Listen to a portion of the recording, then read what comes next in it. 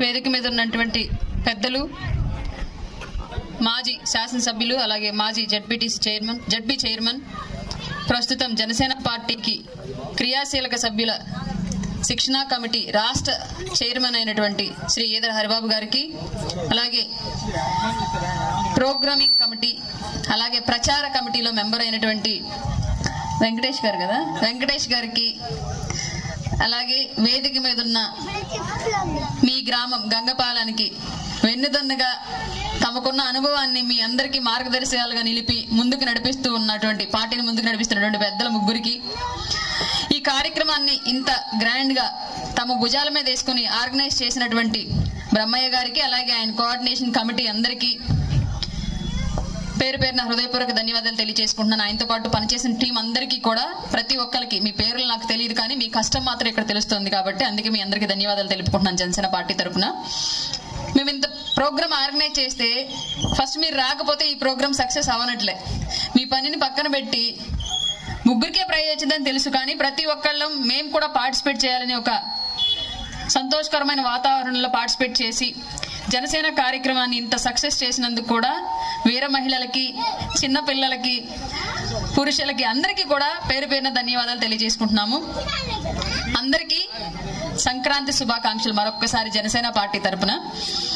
రాబోయే రోజుల్లో మళ్ళీ వచ్చే సంక్రాంతికి మనందరం అధికార పక్షంలో అధికార పార్టీకి మేమందరం విధేయులు అని చెప్పేసి ఒక ఆనందకరమైన పరిస్థితుల్లో ఈ సంక్రాంతిని జరుపుకోవాలని మనస్ఫూర్తిగా కోరుకుంటున్నాను. నాలుగున్నరేళ్ళుగా నాలుగున్నరేళ్ళుగా ప్రతిపక్షంలో ఉన్నటువంటి మన పార్టీ సభ్యులకి కార్యకర్తలకి సానుభూతి పరులకి అందరికీ కూడా సహజంగా ఏ పార్టీ అధికారంలో ఉన్నా ప్రతిపక్ష పార్టీ ఎదుర్కొనే సమస్యల్ని మనందరం ఎదుర్కొన్నాం. అంతకు మించి ఎదుర్కొన్నాం. కానీ ఈ జగన్మోహన్ రెడ్డి యొక్క ప్రభుత్వంలో అతనికి ఓట్లేసిన సానుభూతి పరులు కూడా ఇబ్బందులు పడ్డారు. అతనికి ఓట్లేసిన వాళ్ళు వాళ్ళ ఇసుక మాఫియా వల్ల దోపిడీకి గురవుతున్నారు. అతనికి ఓట్లేసిన వాళ్ళు ఎర్రమట్టి మాఫియా వల్ల దోపిడీకి గురవుతున్నారు. అతనికి ఓట్లేసిన వాళ్ళందరూ పెంచిన పెట్రోల్ డీజిల్ నిత్యావసర ధరలు పెంచిన బస్ ఛార్జీలు పెంచిన కరెంటు ఛార్జీలు వీటన్నింటి వల్ల జగన్మోహన్ రెడ్డి అధికారంలోకి రావాలని చెప్పేసి ఓటేసిన ప్రతి ఒక్క ఓటరు బాధితుడయ్యే వాళ్ళ రాష్ట్రంలో. అన్ని విపక్షాల పక్షాల కన్నా కూడా వైఎస్ఆర్సీపీ పార్టీ యొక్క వ్యవహార శైలి భిన్నం. ప్రతి ఒక్కళ్ళని హింసించాడు. ఏ వర్గము అతీతం కాదు అన్నట్లుగా ఎస్సీల నుంచి బీసీల నుంచి బ్రాహ్మణుల నుంచి కాపుల నుంచి అగ్ర సామాజిక వర్గాల్లో ఉన్నటువంటి పేదల నుంచి ప్రతి ఒక్కళ్ళని కూడా ఈ నాలుగున్నరేళ్ళలో పీడిస్తూనే ఉన్నాడు జలగలాగా పట్టి. ఇక నుంచి అయినా సున్నం పెడితే రక్తం తాగినా సరే సర్రమని వదిలేసి ఎలా బ్రతుకు జీవుడు అని పరిగెత్తి పోయిద్దో అట్లాగే ఈవీఎం లో ఒక్క బటన్ ఓటు అనే ఆయుధంతో ఈ జగన్ అనే జలగని ఇరవై నాలుగులో రాష్ట్రం వదిలి ప- పరిగెత్తేలాగా మనందరం ఆ జలగని తరిం కొట్టేంత వరకు కూడా నిద్రపోవద్దని చెప్పేసి మీ అందరికీ రిక్వెస్ట్ చేస్తున్నా. ఇక్కడ వైసీపీకి ఓటేసిన వాళ్ళతో మాత్రమే నేను మాట్లాడుతున్నా క్లియర్గా. బాధితుడు కాని వాళ్ళు ఎవరన్నా ఉంటే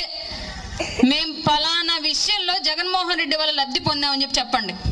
అమ్మఒడనే పేరుతోటి మీ అకౌంట్లో డబ్బులు వేసి నాన్న గొంతుతోడనే పేరుతోటి మీ దగ్గర నుంచి డబ్బులు లాగేసుకున్నాడు. ఆ విషయం మీ అందరికీ తెలుసు. ఇది ఇంతకు ముందు క్వార్టర్ డెబ్బై రూపాయలు ఎనభై రూపాయలు తాగి మీ అందరూ వాళ్ళ రెండు వందలు మూడు వందలు పెట్టి తాగొస్తున్నారు. ఆ విషయం మేం కాదు బాధితులు. తాగేవాళ్ళు వాళ్ళ భార్యలే పెద్ద బాధితులు. మా జగన్ అన్నది ఇచ్చిన బ్రాండ్ అని చెప్పేసి బూమ్ బూమ్ డామ్ డామ్ అంటే ఎక్కువ ఆ పార్టీ వాళ్ళే ఎక్కువ తాగుతున్నారు. ఎక్కువ ఆర్థికంగా నష్టపోతున్నా కూడా ఆ పార్టీ వాళ్ళే నష్టపోతున్నారు. ఎందుకంటే ప్రభుత్వం మద్యం అమ్ముతుంది కాబట్టి. ఇంతకు ముందు ఎక్కడన్నా ప్రైవేట్ బెల్ట్ షాప్లో అయితే నలుగురు ఆడవాళ్ళు వేసుకొని వెళ్ళి వాడి ముందు రెండు చీసాలు పగల కొట్టమన్నాడు భయపడి కొద్ది రోజులు సైలెంట్ ఉండేవాడు. ఇవాళ ఆ సిచ్యువేషన్ లేదు. ప్రభుత్వమే మద్యం అవ్వడం అమ్మడం వల్ల మహిళా సంఘాలు కూడా ఏం చేయలేని నిస్సహాయ స్థితిలో ఉన్నాయి. ఇక్కడ మహిళలకు ఇబ్బంది కలుగుతోంది అని చెప్పేసి ఎవరన్నా ప్రయత్నిస్తే ప్రయత్నించిన వాళ్ళ మీద కేసులు ఉంటాయి తెల్లారి పొద్దున. ఎట్లాంటి కేసులు ఉంటాయి చెప్పలేము మనం. ఎందుకంటే ఉద్యోగాలు లేవు అని చెప్పేసి నిరుద్యోగులు ధర్నా చేస్తే జగన్మోహన్ రెడ్డిని రేప్ చేయడానికి వెళ్ళారని చెప్పేసి నిరుద్యోగుల మీద కేసు పెట్టారు ఆ సెక్షన్ పెట్టారు అప్పట్లో అమరావతిలో. ఆ విషయం మనందరికీ తెలుసు. అట్లాగే ఇవాళ ఉద్యమాల పేరుతోటి లేదంటే ప్రజల సమస్యల గురించి ప్రశ్నించడానికి బయటకు వచ్చిన ప్రతి ఒక్క సామాన్యుడి మీద కేసు ఉంది. ప్రతి ఒక్క వ్యక్తి మీద ఆపోజిట్ పార్టీ అని ముద్ర ఉంది. దానిలో భాగంగానే ఒక దళిత సామాజిక వర్గానికి చెందిన డాక్టరు మాస్క్ ఇవ్వడం మహాప్రభు అన్న నేరానికి అతనికి ప్రతిపక్ష పార్టీ నాయకుడు అని చెప్పేసి ముద్రేసి హింసించి హింసించి చంపాడు జగన్మోహన్ రెడ్డి. ఆ విషయం మనందరికీ తెలుసు. అట్లాగే కాపు కార్పొరేషన్ పేరుతోటి నేను కార్పొరేషన్కి వేల కోట్లు నిద్రిస్తానని చెప్పేసి ఇవాళ కూడా కాపు బిడ్డలకి విదేశీ విద్య దీవెన పథకం ఇవ్వకుండా వాళ్ళ చదువులు మధ్యలో ఆగిపోయేలాగా చేశాడు. కాపు రిజర్వేషన్ ఇస్తా అన్నాడు ఇవ్వలేదు. ఇలా అన్ని రకాలుగా కాపులను మోసగించాడు. బీసీలు. అందరు అనుకున్నారు అప్పట్లో బీసీలు మామూలుగా సహజంగా బీసీలో ఉండే ఒక ప్రాబ్లం ఏంటి అంటే రజకుడికి టికెట్ ఇస్తే ఒక వడ్డెరో ఒక కొమ్మరో ఒక ముదిరాజు ఒక కళింగ వీళ్ళందరూ మా రజిక అనుకోరు. వాళ్ళు రజకులకి ఇచ్చారంటే మనకు కాదులన్న ఫీలింగ్లో ఫీలింగ్లో ఉంటారు. ఒక వడ్డెరకి ఇస్తే వడ్డెరకి ఇచ్చారంటే మనకు కాదులన్న ఫీలింగ్లో మిగతా కులాలు ఉంటాయి. అంటే ఎక్కువ పాపులేషన్ పరంగా చూస్తే బీసీలు ఎక్కువగా ఉన్నప్పటికీ కూడా కులాల వారీగా విడిపోయి ఉండడం మూలంగా విడివిడిగా ఉండి మాది కాదు మాది కాదనే భావనలో ఉండే వాళ్ళందరూ.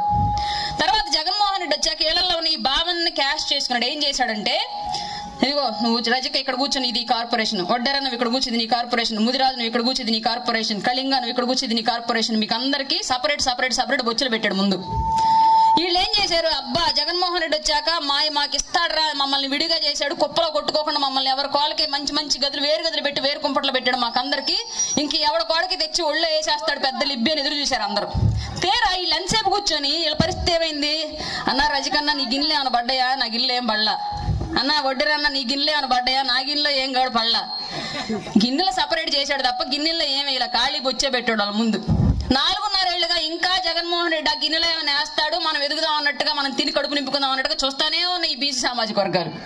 ఇప్పటి వరకు ఏ గిన్నెలో కూడా ఒక్క ముద్ద అన్నం పడలేదు ఒక్క రూపాయి డబ్బులు పడలేదు. అంటే కార్పొరేషన్ నిధులు బీసీ కార్పొరేషన్ నిధులు బీసీలకు కాకుండా అతని ఇష్టానికి అతని పేరుకి పలుకుబడికి అతని ఓటు బ్యాంకు ఉపయోగించుకోవడానికి రకరకాల మార్గాల్లో దారి మళ్ళించేశాడు. దాని గురించి ప్రశ్నించడానికి ఇవాళ ఇళ్ళలో యూనిటీ లేదు. సపరేట్ చేసాడు సపరేట్ చేయడం మూలంగా బీసీ నిధులు తినగలిగాడు. ఎస్సీల విషయానికి వస్తే ఎస్సీల్లో ఎక్కువ పర్సెంట్ క్రైస్తవం ఈ మధ్య కాలంలో విపరీతంగా క్రైస్తవ మతం పెరగడం వల్ల ఎక్కువ మంది క్రైస్తవులు ఎస్సీలు క్రైస్తవ మతాన్ని తీసుకున్నారు. దాన్ని బేస్ చేసుకొని రాజ్యాంగాన్ని బోధించాల్సిన రాజకీయాల్లో బైబిల్ని చంకలో పెట్టుకుని ఓట్లు అడగడానికి వచ్చాడు దుర్మార్గుడు సైతాన్. సైతాను జగన్మోహన్ రెడ్డి ముసుకేసుకొని వచ్చాడు. బైబిల్ని అడ్డుపెట్టి ఎస్సీలందరినీ మోసగించి ఎస్సీ కార్పొరేషన్ నిధులన్నింటినీ తినేశాడు. దాని గురించి అడగడానికి వీళ్ళకి కలియుగ యేసుప్రభు అన్న బిల్డప్ ఇచ్చాడు. సైతాన్ వచ్చి నేను కలియుగ యేసుప్రభు అని ముసుకేసుకుంది దాన్ని ఎస్సీలు నమ్మేశారు. వాళ్ళల్లో వాళ్ళని హత్యలు చేస్తున్నారు దాడులు చేస్తున్నారు వాళ్ళ భూములు లాక్కున్నారు మాల మాదిగ కార్పొరేషన్ భూములు కూడా లాక్కున్నారు. మాన్యాలు అనేవాళ్ళు గతంలో మాల మాన్యం మాదిగ మాన్యం అని చెప్పేవాళ్ళు. ఆ భూములు కూడా ఇవాళ జగన్మోహన్ రెడ్డి లాక్కున్నాడు. అయినా వీళ్ళు అడగలేకపోతున్నారు. కారణం ఏంటంటే మతం ముసుగేసేసాడు వాళ్ళకి. ఉన్న చెప్పేసి కమ్మ సామాజిక వర్గానికి అసలు రాష్ట్రానికి సంబంధం లేదు. వాళ్ళొక్క వేరే వేరే కంట్రీ నుంచో వేరే ఖండం నుంచో వచ్చారు అన్నట్లుగా సపరేట్ చేశాడు రాజధాని పేరుతోటి. కమ్మ సామాజిక వర్గాన్ని అంతటిని రాష్ట్రం ఏదో పెద్ద దూషి దోషులుగా చూసేటట్లుగా క్రియేట్ చేయడానికి ట్రై చేశాడు ఈ నాలుగేళ్ళలో. సొంత ఛానళ్ళు సొంత పత్రికలు పెట్టుకొని డెబ్బై మంది సలహాదారులు పెట్టుకొని అతను చేసింది ఏంటయ్యా అంటే కులాల మధ్య చిచ్చు పెట్టాడు. ప్రాంతాల మధ్య మూడు ముక్కలు ఆట ఆడాడు. మొద్దు చెట్లు ఆడతారు కదా చాలా మంది. వచ్చి రాని మొద్దు చెట్లు ఆట. అట్లాంటి ఆట ఆడాడు. మూడు ముక్కలుగా విడదీసి నీకు అమరావతి నీకు వైజాగ్ నీకు కర్నూలు అన్నాడు. పోనీ వీటిలో ఏదన్నా చేశాడేమో అనుకున్నా కర్నూలు అక్కడే ఉంది ఏం జరగల? అమరావతి అక్కడే ఉంది ఏం జరగల? వైజాగ్ ఏం జరగల? ఏం చేశాడయ్యా ఈ మూడు ముక్కల ఆటలు అంటే భూములు దోచుకున్నాడు.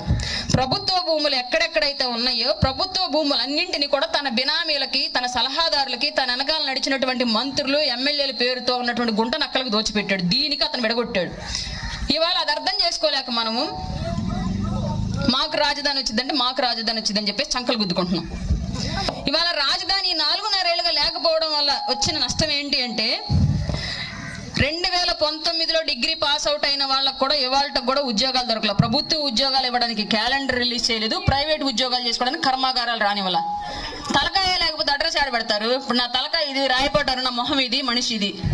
ఆంధ్రప్రదేశ్ బాడీ ఉంది రాజధాని తలకాయ ఏది?